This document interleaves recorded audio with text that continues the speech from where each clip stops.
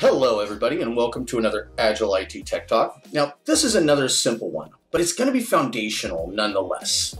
In the next couple of minutes, I'm going to run through the Teams hierarchy with teams, channels, tabs, and private chats. I'm also going to explain where things live in the larger Microsoft 365 environment. Knowing how all of this fits together is going to be really important later when we get into talking about security and compliance with Microsoft 365.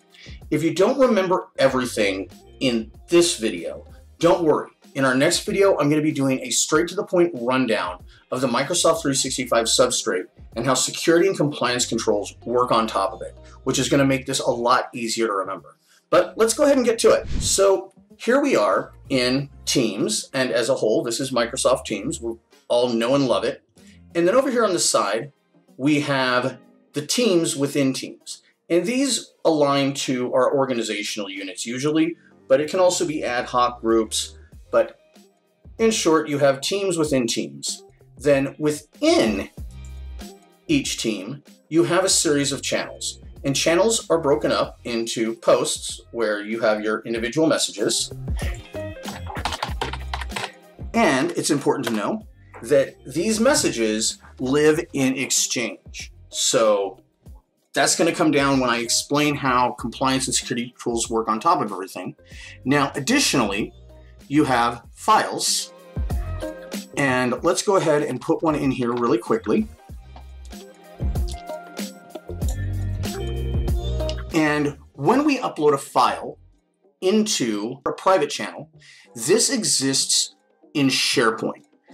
Now, in addition, we have private chats. Now, within the chats, and you can see here, I've already told Megan Bowen not to cause any security problems in this new environment. I'm taking bets on if you guys think she's going to break things or not. My guess is yes.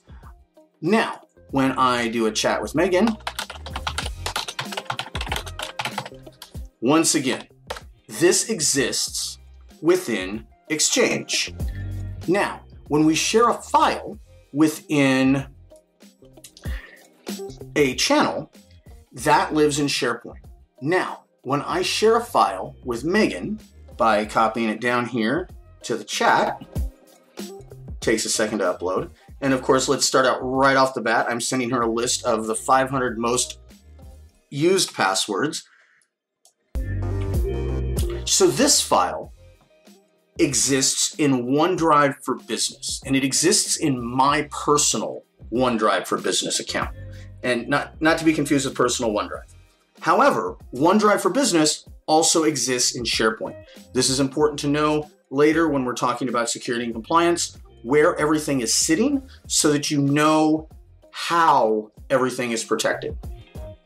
Now, the next thing I want to do talking about Teams is when we go back to Teams, in each of the channels, we have the tabs with the posts, the files, and a wiki.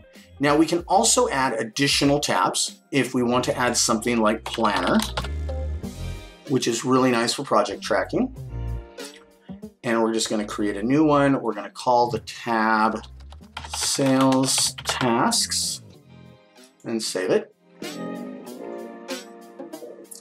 Takes a few seconds to get all set up, but then here we are, and we have our first planner.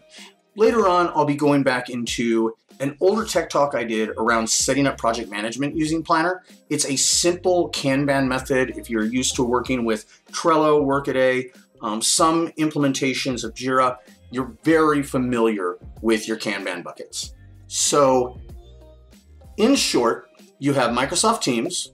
Within Teams, you have Teams. Within Teams, you have channels. And within channels, you have tabs. Your communications within each channel exists in Exchange. Your private chats exist in Exchange. Your files in each of the public teams or public channels exist in SharePoint, while the files shared within chats exist in the OneDrive for Business of the person who sent the file. Now, I hope this is fairly straightforward. If you don't quite understand how this all lays out and stacks, I'm gonna show off a really good PowerPoint in our next video, but like I said, this one's super simple, but super foundational. I'm glad you were able to join us and stay tuned for the next video.